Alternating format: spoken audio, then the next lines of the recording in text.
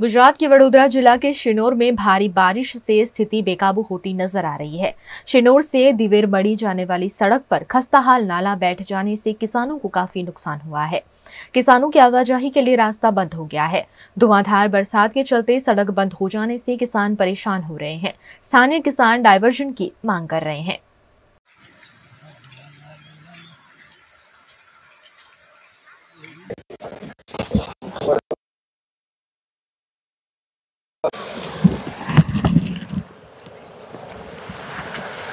गुजरात के भरूच में धुआंधार बरसात से ग्रामीण इलाके पानी में डूब गए हैं लगातार कई इंच बारिश के चलते निचले इलाकों में पानी भर गया है झाड़ेश्वर बस स्टैंड से लेकर सुप्रसिद्ध स्वामीनारायण मंदिर समेत की 15 से 17 सोसाइटी पानी में डूब गई हैं। વર્ષોથી ગટરની અને રોડની ખોટી ખોટી હૈયાધરણાઓ તંત્રએ આપેલી છે જેના પરિણામે તંત્રની બેદરકારીને કારણે આજે મેઘદૂત ટાઉનશીપ એક સ્વિમિંગ પુલમાં પરિવર્તન પામી છે, જે અત્યારે નજરે દેખાઈ રહ્યું છે. એની સાથે અગાઉ અમે ચૂંટાયેલા પ્રતિનિધિઓને, સંસદ સભ્ય, ધારાસભ્ય કલેક્ટરશ્રીને પણ રજૂઆત મૌખિકમાં કરેલી હતી.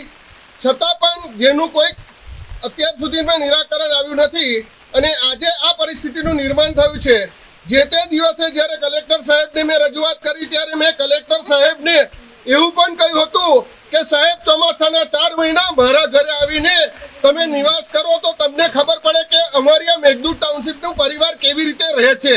હું આજે પણ ધારાસભ્યશ્રી સંસદ સભ્યશ્રી કલેક્ટર સાહેબ, તાલુકા પંચાયત સદસ્ય, જિલ્લા પંચાયત સદસ્ય, ગામના આગેવાનો, વહીવટદાર, બધાને આમંત્રણ પાઠવું છું.